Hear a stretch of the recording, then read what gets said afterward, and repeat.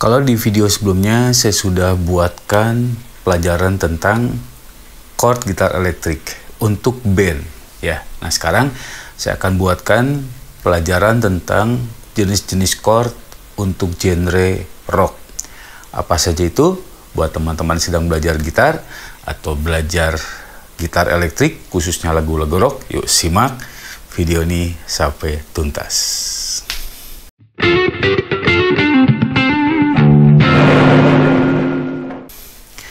Salam sang gitaris, saya Faye. Saya bukan orang hebat, saya senang berbagi hal-hal yang baik sesuai dengan ilmu dan pengalaman yang saya punya. Sebab itu kalau teman-teman punya pertanyaan seputar gitar atau ingin belajar materi tertentu, silahkan drop di kolom komen. Ya, nanti saya akan buatkan video buat teman-teman semua. Oke, bahasan kita hari ini tentang chord gitar elektrik khususnya untuk genre rock. Mungkin sejauh ini kita hanya tahu adalah chord power chord seperti ini. Ya, seperti ini. Ya, mungkin teman-teman sering mainkan. Ya, chord chord itu terdiri dari do dan sol. Ya. Ya itu namanya power chord ya yang sering kita dengar. Oke, kalau istilah-istilah yang saya buat dalam video ini itu uh, sebuah sederhana saja memudahkan teman-teman. Mungkin kalau secara teoritiknya teman-teman nanti pusing ya. Nah, yang kedua adalah namanya interval chord. Ya, untuk interval sendiri saya sudah bahas di video tersendiri, judulnya adalah interval. Nah, kalau tadi power chord 15, kalau interval itu berarti di luar 15 itu, sederhananya begitu. Misalkan kita main 1 3 ya kalau teman-teman pernah dengar lagu ini, barangkali uh,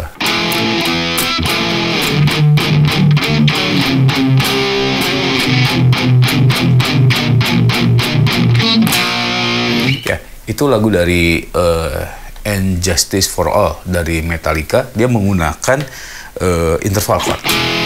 Ya, dia mayor 3, mayor 3, mayor 3 lalu ditambah dengan sus 4 jadi lalu ke power chord. Nah jadi uh, ada yang lain yaitu adalah uh, selain mayor 3 mayor 3 ada minor 3 ya seperti itu. Jadi perpaduan minor 3 Nah, dia bedanya dengan power chord, dia lebih terasa mayor minornya. Saya akan mainkan.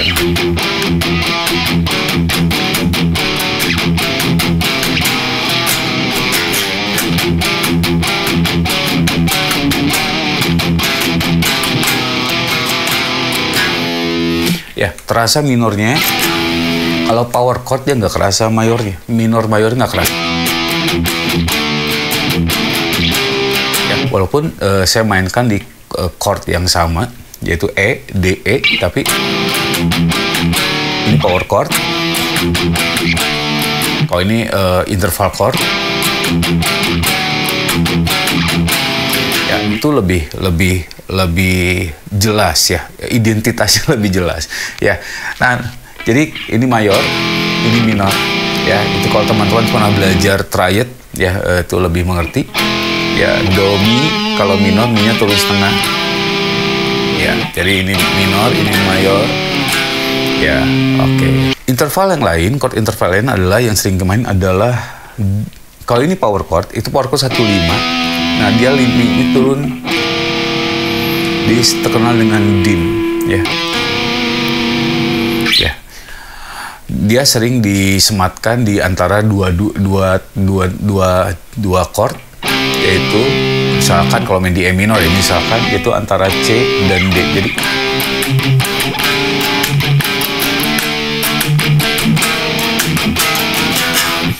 Oke, jadi uh, lebih lebih terasa. Ini nggak kalau ini power chord menurut saya agak tabrakan nggak jelas. Udah beda kalau misalnya kita pakai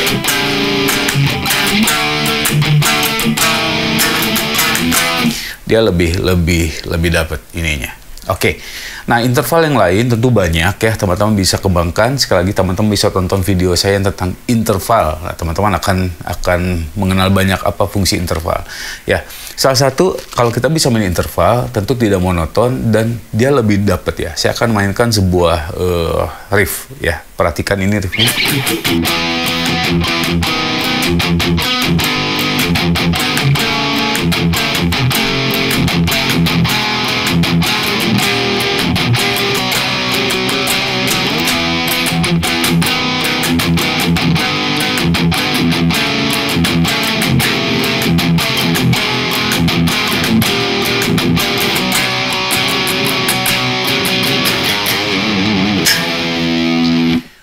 Oke, dia lebih lebih identitasnya lebih jelas dan lebih dapat apa ya suasana chordnya, uh, dapat atmosfer chordnya ya. Makanya saya senang dengan interval ya chord-chord interval seperti ini. Ya mungkin teman-teman bertanya chord apaan tuh kak? Ya saya kasih tahu aja dulu ya.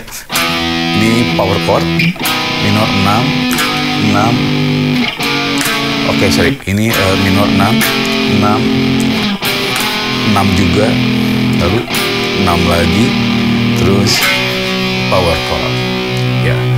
Nah jadi uh, seperti itu. Jadi kita tahu namanya dan tahu cara mengekspresikannya ya. Oke. Okay.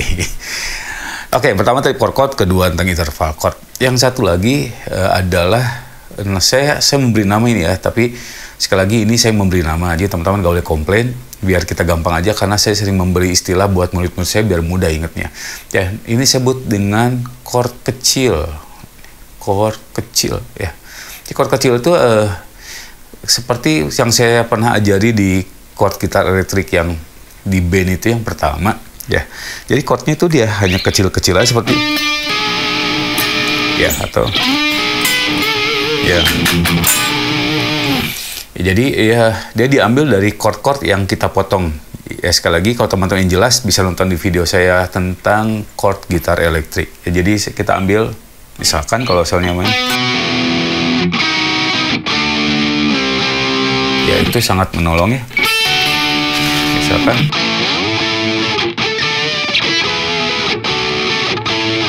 saya pernah membeli misalnya ke dalam lagu Van Halen misalnya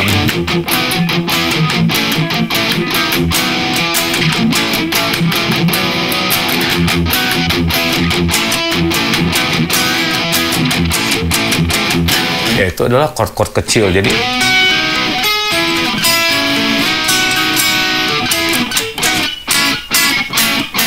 itu chord-chord chord-chord kecil yang kita bisa pakai ya jadi uh, jadi pembedaran kita banyak untuk lagu rock ya. Uh, jadi kalau teman-teman pikir itu kan kayak lagu dangdut, ada yang bilang di komentar saya ngakak ya bacanya, itu sering dipakai untuk lagu dangdut.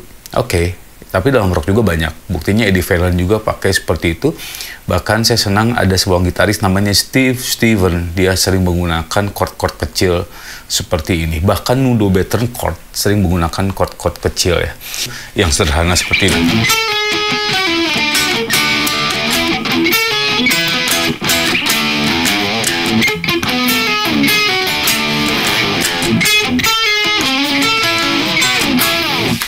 Itu chord-chord kecil ya. Nah jadi tiga ini sering kita pakai. Kalau sisanya yang lain tuh lebih ke variasi ya. Kalau soalnya teman-teman saya, saya sering main.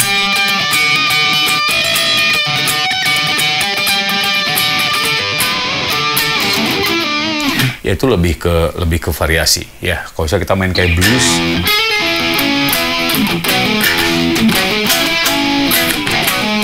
Ya itu uh, bukan chord, itu lebih ke variasi dari riff ya. Oke, okay.